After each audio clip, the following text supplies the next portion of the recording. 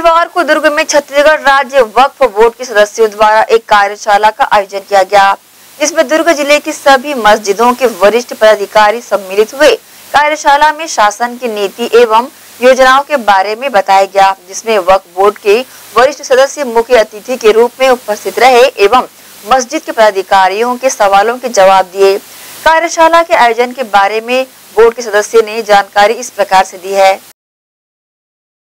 छत्तीसगढ़ राज्य वक्फ बोर्ड की पहल पर जामा मस्जिद इंतजामिया कमेटी की जानब से कार्यशाला परीक्षण का आयोजन किया गया था, जिसमें जो भी योजनाएँ हैं शासन की और वक्फ बोर्ड की, उनसे तमाम भिलाई ग्रुप के मुतवलियों को अवगत कराया गया।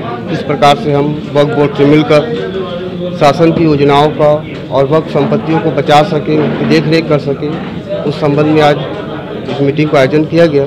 जिसमें तमाम शहर के मुतलियों ने अपनी हिस्सेदारी ली। ये जितने भी हमारी मस्जिद होती है ना, मस्जिदों में एक, वो होते हैं मुतवली जिस तरीके से मस्जिद को चलाने के लिए एक इंतज़ामिया कमेटी होता है, उसके हेड को मुतवली कहा जाता है, सदर या मुतवली ये उनकी कार्यशाला थी पूरे दुर्ग ज़िले की।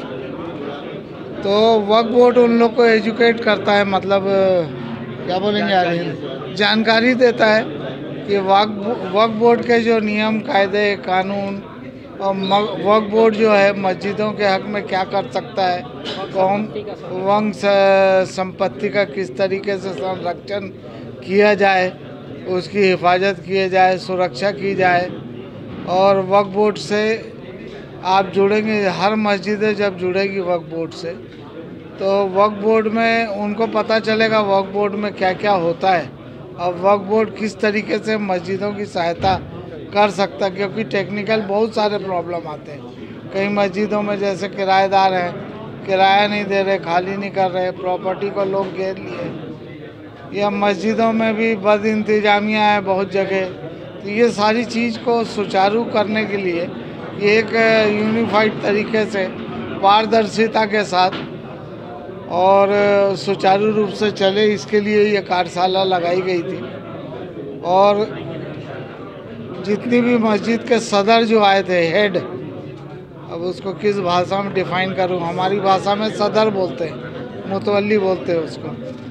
तो उनसे रूबरू होके, उनकी जो कुछ समस्याएँ वगैरह है, उसको हमने सुना। उनके टेक्निकल प्रॉब्लम थे जो हमारे वर्क बोर्ड से उसको हल करने की बात आती है। तो उसको भी हमने सुना, जहाँ पर हम हल कर सकते थे, उनको अभी बता दिया। और कुछ चीज़ें ऐसी है जो वहाँ पर वो वर्क बोर्ड में कार्यालय से रबता इंट्रैक्शन करके वो अपनी समस्याओं का हल करा लें।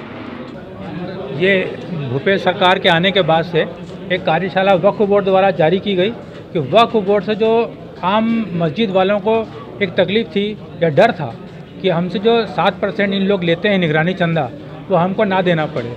तो एक डर था कि ये किस तरह लेते हैं और इसका उपयोग क्या करते हैं। आज जो इन्होंने कार्यशाला शुरू की है, इससे हमको ये एहसास हो गया कि वक्फ बोर्ड जो है, ये वक्फ की जितनी संपत्ति है, मस्जिद हो, कब्रस्तान हो, ईदगाह हो, या जो भी संपत्ति है सब की निगरानी करना और उसका बचाव का काम वक्फ बोर्ड कर रही है। तो इसमें ज़्यादा से ज़्यादा लोग अब जुड़ने की कोशिश करेंगे और इसमें हमको ये मालूम पड़ गया कि वक्फ बोर्ड सिर्फ़ चंदा उन्हीं का लेती है जिसमें वक्फ बोर्ड से आमदनी हो रही है। जैसे दुकान हो गया या कोई खेत हो गया, जिससे आमदनी हो रही है, उसका वो पाँच परसेंट उनको खर्चा काटने के बाद जो राशि बचती है, उसमें से वो सात परसेंट लेती है। ताकि आप अपना उसका खर्चा कर सकते हैं। इसमें कोई जो मैंने जुम्मा जुमा झोली है या किसी इसाले सवाब के लिए कोई अगर चंदा दे रहा है तो उसमें से वो कोई भी पैसा नहीं लेती है। और वक्फ की ज़मीन को अगर किसी ने दबा के रखा है तो वक्फ बोर्ड चाहे उसको छुड़वाने का काम, उस वक्फ की संपत्ति को छुड़वा के अगर मस्जिद की ज़मीन है तो मस्जिद को देगी, कब्रस्तान की है तो कब्रस्तान को देगी, ईदगाह की तो ईदगाह को देगी। तो ये वक्फ बोर्ड बहुत अच्छा काम कर रही है। भूपेश सरकार का इसके लिए हम तहे दिल से शुक्रिया अदा करते हैं।